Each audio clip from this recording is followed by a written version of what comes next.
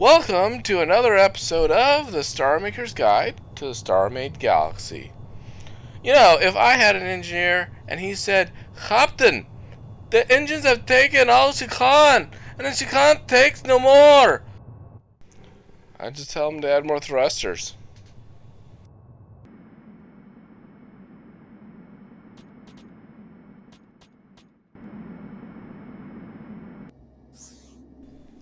The hyperflux thruster coil, also known as thrusters for short, are the only way to increase the thrust of your ship.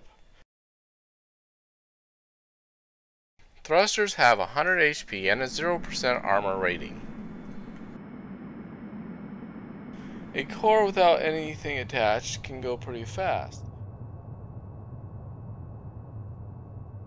But as soon as you start adding blocks, your mass will increase by 0.1 per block to be exact.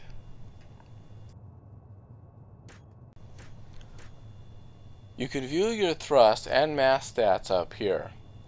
Dock ships will not be included in these figures, but weight will also be affected by dock ships or turrets. Your thrust does not affect your ability to turn. This is only affected by your mass. Larger ships will turn slower no matter how many thrusters you add. Thrusters mainly affect your acceleration and indirectly your top speed. The primary limits on speed in StarMade is the server set speed limit. But with a sufficiently high speed limit for the server, your acceleration curve can eventually cap the top speed your ship can reach.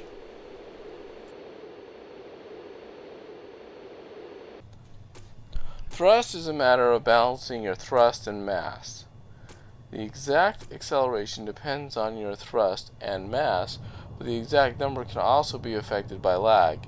In this recording, you see by the end of the track at 122 meters away, I was only getting about 20 kilometers an hour, but when I was not recording, I was able to get around 40. A lone thruster will give you a boost of one thrust. But when you start adding more thrusters within the group, it gets a little trickier.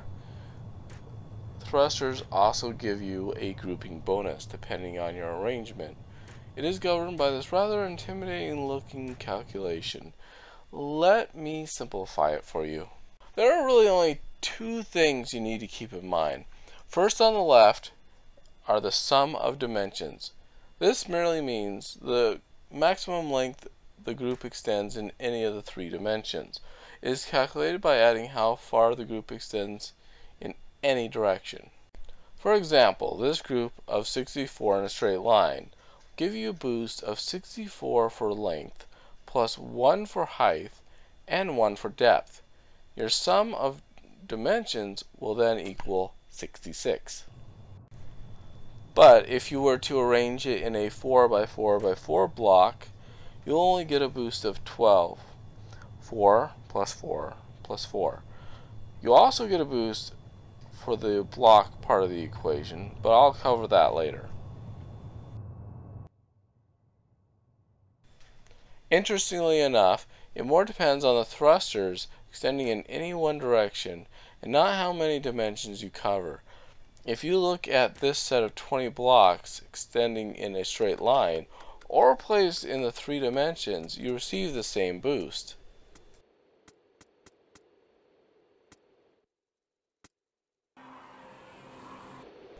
The benefits of this mechanic is that it allows your total sum of dimensions to exceed the length of your ship by changing direction. But do understand, blocks placed within the dimensions that have already been covered, like this, will not provide a boost to your sum of dimensions.